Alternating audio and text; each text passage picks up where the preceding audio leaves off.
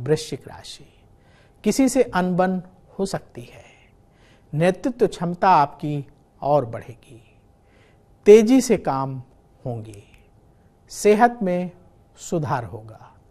बहुत दिनों से जो आपका अटका हुआ काम है, वो पूरा होगा।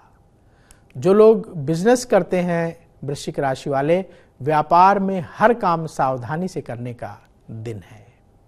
ज़रूरी टिप, ईगो से बचें। शुभ रंग लाल। उपाय किसी मंदिर में चने की दाल दान करें।